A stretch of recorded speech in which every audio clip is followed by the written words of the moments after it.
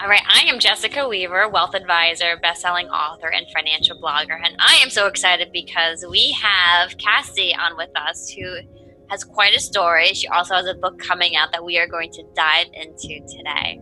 So, Cassie, can you tell us a little bit about your background and as much of your story that you'd like to share with us today? So, my name is Cassie Salmons. I am I'm an addict.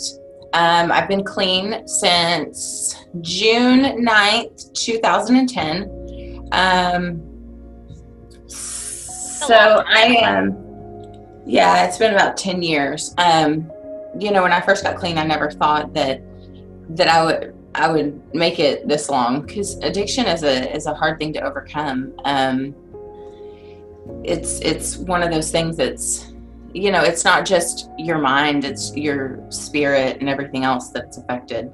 Um, your spiritual well-being is affected everything is. Um, so i've been clean 10 years and now i am a top producing real estate agent in the dallas fort worth metro area.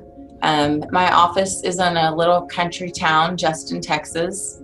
Um, we moved here four years ago and we love it here. Um, I'm very grateful for where I am today because it hasn't always been this easy.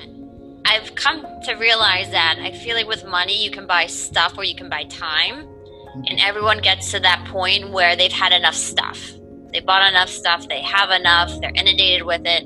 And now you're valuing your time a lot more. And we'll go into this because I know we've had discussions about how you want to keep growing your business and empire, but having more time for your family. Yeah. And I see the same thing with women coming up to retirement, right? They have enough stuff, they made enough money, now they're valuing their time left here on this earth and they want to enjoy it. They want to enjoy their health, their family, travel, yeah. all those different things. So it sounds like you've started to make that transition from stuff to prioritizing time. Uh-huh. But you know, I'm grateful for all my struggles because I think it made me the strong person that I am today. Mm-hmm. I could see that having kind of a, a new scenery, new place, far away, so you have that break. As you, like you said, you found new or found deeper bonds with your children. You found yourself again. You got to pay more attention to your kids, to you, to God, your faith, and then being able to come back in a much better mental state. I'm guessing yeah. As well. And is that kind of when you started to dabble in the real estate? No, I'd always had my real estate license. I got my license when I was 24. Um, but when we moved back to Texas, I um, I started actually. So we had we moved back, and then um, in 2000 and let me think, 2016 we moved back. Um, so I had my real estate license. I, I needed to renew it. Um, so I renewed it. I actually got it back on because I had to go through a whole process of renewing it. I'm a felon. So they want to know what my charges were, what I did, um, how I had changed. So I had to go through a grueling year of trying to renew this license. I remember sitting in front of my computer for like four months straight crying just crying because I didn't have any deals going on. I wasn't making any money.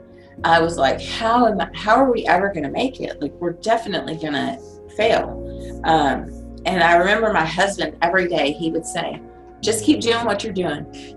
Just keep doing it. It's all going to turn around. We're going to be fine. Everything's going to work out how it's supposed to.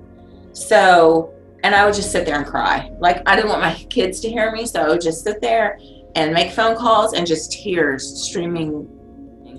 I was going to ask you what's one thing that you wish you had known, but maybe that's it that you can mess up. You can mess up big, but you can come back from it. Do you think that's it? That's it. That's definitely it. That's the underlining thing. Yeah. Yeah, because if I had known, okay, I can go talk to my parents about these mistakes that I've made, then I don't think I would have made so many mistakes but I didn't have that open relationship with them to talk about everything. Amazing. Thank you so much, Cassie. This has been so much fun. Thank you.